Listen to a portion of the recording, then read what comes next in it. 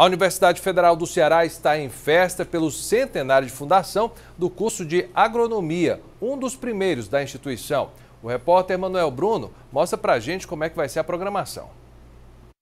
É aqui, nesses mais de 15 mil metros quadrados de área verde, localizados no campus do PC, que nascem muitos dos projetos de extensão do curso de agronomia.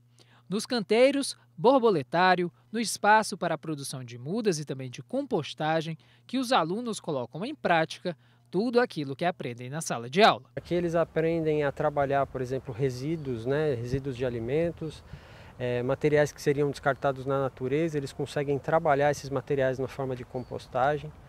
É, eles aprendem a utilizar, dosar, quantificar o material que pode ser utilizado para enriquecer o solo com nutrientes, melhorar as qualidades, propriedades físicas do solo.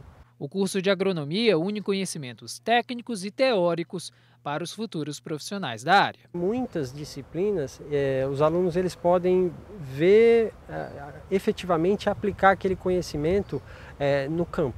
Né? Eles podem ver aqui, aquela, aquilo que ele viu na teoria, ele consegue efetivamente ver, ver no campo ali se desenvolvendo. Aqui no Ceará, os futuros engenheiros agrônomos são formados na Escola de Agronomia da UFC. A instituição está completando 100 anos de história. Inicialmente, a escola foi criada como uma instituição privada. Somente nos anos 50 foi integrada à Universidade Federal do Ceará. Durante todo esse século, a escola já formou mais de 5 mil engenheiros agrônomos. A gente tem que lembrar que o PIB do país ele sempre foi positivo no setor agropecuário. Então, o nosso país ele é rico nesse setor agropecuário e o estado do Ceará, região Nordeste, também se desenvolve nesse setor. Então, é, um, é uma área de desenvolvimento, é uma área de riqueza, é uma área de produção de renda né, e de bem-estar para todo o povo.